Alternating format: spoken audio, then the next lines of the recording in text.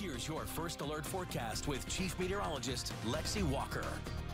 Just wanted to start with that sunrise of our Cameron University Tower Cam this morning. It is just beautiful. We have the oranges, reds, some pink starting to filter in, and also the cloud cover this morning. But honestly, it's not a bad start to the day, and we are looking at a 10% chance for rain in the forecast for our northern counties as well as our western counties. But again, it's really not going to amount to much today, and it's all thanks to the cold front moving in. Now, right now, that cold front is still hundreds of miles away. It's near the Texas and Oklahoma panhandle, closer closer to uh, southern Colorado and southern Kansas, but eventually that front will move in, and that's what's going to give us this 10% chance for rain. Let's time it all out, though, as we look ahead to about 10 o'clock this morning. Still looking at partly cloudy skies. Then by 3 p.m., we start to see some development begin to fire up here, but whatever does fall from the sky is going to be fairly light. Uh, rainfall amounts also on the lower end. We're not looking at severe weather because of the lack of forcing or even instability within the atmosphere. But by the time we transition to Friday,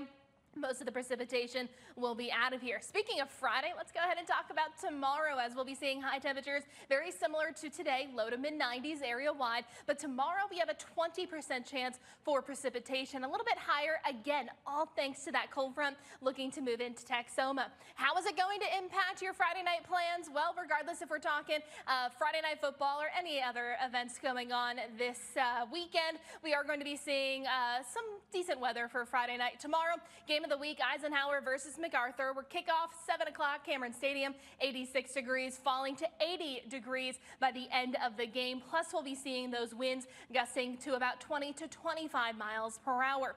Dry air following that cold front will bring us some cooler conditions and drier air overall as we head into the weekend. Saturday will be into the upper 80s. By Sunday afternoon, we're looking at high temperatures into the low 90s. But with that cooler and drier air mass does mean morning temperatures cooler than what we've been seeing. We've been hovering into the upper 60s and low 70s, and that's currently what many are seeing heading out the door. But look at this. By starting Sunday morning, we're talking morning temperatures into the mid and upper 50s. Definitely a little taste of fall, but I will say the bonus forecast is showing off very similar conditions to what uh, is expected from day 8 to day 14 compared to day 1 to day 7.